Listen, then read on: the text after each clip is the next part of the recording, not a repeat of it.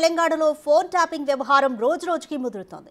తమ ఫోన్స్ కూడా ట్యాప్ అయ్యాయంటూ ఒక్కొక్కరుగా రాజకీయ నేతలు బయటకొస్తున్నారు. ప్రభాకర్ రావు రాధాకిషన్ రావు ఆగడాలపై బాధితులు డీజీపీకి ఫిర్యాదు చేస్తున్నారు. తమ ఫోన్లు ట్యాపింగ్ చేసి బెదిరించారంటూ కాంగ్రెస్ బీజేపీ నాయకులు సంధ్యా శ్రీధర్ రావు చికోటి ప్రవీణ్ డీజీపీని ఆశ్రయించారు. రాజకీయ నేతలతో పాటు ప్రముఖ బిజినెస్ మ్యాన్లు కూడా దర్యాప్తు అధికారులకు ఫిర్యాదు చేస్తున్నారు. బాధితుల వరుస ఫిర్యాదులతో పోలీస్ శాఖ దర్యాప్తును వేగవంతం చేసింది.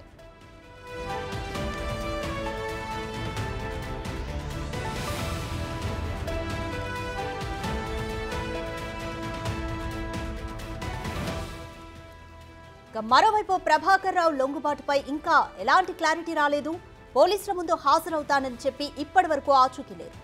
అమెరికా నుంచి వస్తున్నా అని మూడు రోజుల ముందు ప్రభాకర్ రావు డీసీపీకి సమాచారం ఇచ్చారు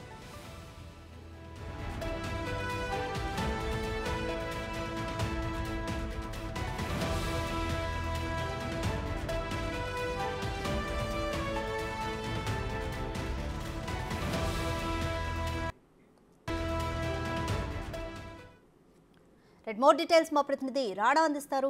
రాణా ఫోన్ ట్యాపింగ్ కేసుకి సంబంధించి రోజుకో కొత్త మలుపు తిరుగుతుంది. మరి ప్రభాకర్ రావు అయితే ఇంతవరకు ఆచూకీ లేరు. పరిస్థితి ఏ విధంగా ఉంది? ఇప్పటి వరకు ఉన్న అప్డేట్స్ ఏంటి? ప్రభాకర్ రావు ప్రతిరోజు కూడా పోలీసులకి సమాచారం ఇస్తున్నారు. నేను ఇవాళ వస్తున్నాను ఇవాళ బయలుదేరుతున్నాను. నేను విచారణకి రేపు హాజరవుతాననేసి కూడా గత మూడు రోజుల నుంచి కూడా ఆయన చెప్తున్నాడు. కానీ ఇప్పటి వరకు కూడా ఆయన వచ్చినటువంటి దాఖలాలు లేవు. పైగా ఆయన నేను వస్తే మరి నన్ను అరెస్ట్ చేస్తారేమో లేకపోతే నేను ఓన్లీ ఇన్ఫర్మేషన్ ఇస్తాను లేకపోతే అనేక క్వశ్చన్స్ కూడా డీసీపీతో అన్నట్టుగా మనకు సమాచారం ఉంది. అయితే ఖచ్చితంగా ఎట్టి పరిస్థితుల్లో మీరు విచారణకు రావాల్సిందే. ఈ కేసులో మీరు చాలా కీలకమైనటువంటి వ్యక్తిగా ఉన్నారనేసి కూడా పోలీసులు ఆయనకు చెప్పినటువంటి నేపథ్యం అయితే కనపడుతుంది. ప్రస్తుతం అయితే ప్రభాకర్ ఈ వీక్లోనే ఏదైతే యుఎస్ నుంచి హైదరాబాద్కి రాబోతున్నట్టుగా మనకు సమాచారం ఉంది. ఓ పక్క ప్రభాకర్ ఇష్యూ అలా ఉంటే ఏదైతే రాధాకిషన్ రావు ఇచ్చినటువంటి స్టేట్మెంట్ ఆధారంగా మరికొంతమంది బాధితులు బయటకు వచ్చినటువంటి నేపథ్యం అయితే కనపడుతుంది.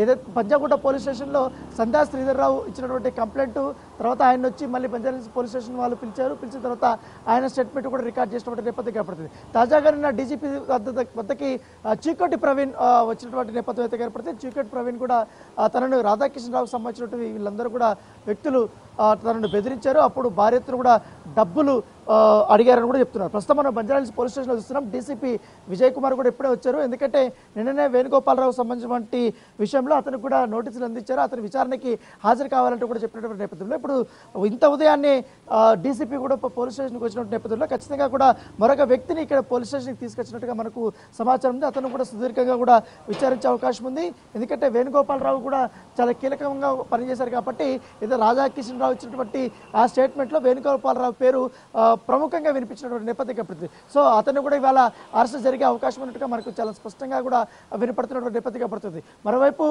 చికోటి ప్రవీణ్ నిన్న వచ్చారు. డీజీపీకి ఆయన కంప్లైంట్ ఇచ్చిన తర్వాత అనేకమైనటువంటి ఆరోపణలు చేశారు రాధాకృష్ణరావు సంబంధించి. ఎందుకంటే నేను డబ్బులు ఇవ్వని దానికి నా పైన పీడీ యాక్ట్లు చేస్తాననేసి అలాగే ఆర్మ్స్ యాక్ట్ కింద బుక్ చేస్తాననేసి నా ఫామ్ హౌస్ మీద దాడులు చేస్తామనేసి కూడా అనేక రకాలుగా కూడా కేసులు పెట్టి బెదిరించారు. పైగా నా పైన నా పైన కూడా కేసులు పెట్టారు. నేను అప్పుడు కూడా బెదరలేదు. చాలా చాలా అంటే చాలా బెదిరించారు నన్ను అనేసి కూడా ఆయన చెప్పినటువంటి నేపథ్యం కనబడుతుంది. అంతకుముందు ఆ, కాంగ్రెస్ పార్టీకి సంబంధించిన కెకే మహేందర్ రెడ్డి ఇచ్చారు. తర్వాత ఎన్ఎం శ్రీనివాస్ రెడ్డి ఇచ్చారు. తర్వాత రఘునందన్ రావు బీజేపీకి సంబంధించిన ఆయన ఇచ్చారు. తర్వాత ఏకంగా కేంద్ర మంత్రి కిషన్ రెడ్డి కూడా తన ఫోన్ కూడా ట్యాప్ జరిగిందొచ్చామో అనేది కూడా ఆయన చెప్పారు. తర్వాత కొడ్డా సురేఖ చెప్పారు. ఉత్తమ్ కుమార్ రెడ్డి చెప్పారు. సో అనేక మంది కూడా చెప్తున్నటువంటి నేపథ్యంలో జిల్లా నుంచి కూడా కొంతమంది నాయకులు ఒక్కొక్కరు కూడా బయటకు వస్తున్నారు. కొంతమంది అయితే హైదరాబాద్ చెందినటువంటి ఐటీ కంపెనీలు కానీ ఫార్మా కంపెనీలు కానీ అలాగే ఎవరైతే పారిశ్రామికవేత్తలు రియల్టర్లు ఉన్నారో వాళ్ళ పేర్లు మా పేర్లు ఇప్పుడే డిస్క్లోజ్ చేయదనేసి కూడా వారు అఫీషియల్గా కొన్ని మెయిల్స్ పోలీసులకు పెట్టినట్టుగా మన సమాచారం ఉంది. ఈ రకంగా మా దగ్గర డబ్బులు తీసుకున్నారు. ఈ రకంగా వారు మమ్మల్ని బెదిరించారు.